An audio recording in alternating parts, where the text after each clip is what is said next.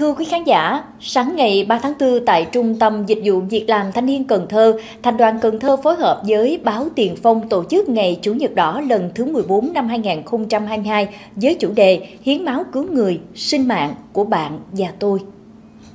Ngày Chủ nhật đỏ thể hiện tinh thần sung kích, trách nhiệm và tấm lòng hiến máu cứu người của đoàn viên thanh niên trên địa bàn thành phố Cần Thơ. Ước tính chương trình tiếp nhận được khoảng 400 đến 500 đơn vị máu. Để phòng chống dịch Covid-19, ban tổ chức chương trình không tiến hành lễ khai mạc mà chia số lượng người đến hiến máu theo khung giờ. Tình nguyện viên hiến máu được yêu cầu đeo khẩu trang, bố trí ngồi giãn cách và được sát khuẩn đo thân nhiệt trước khi tham gia hiến máu.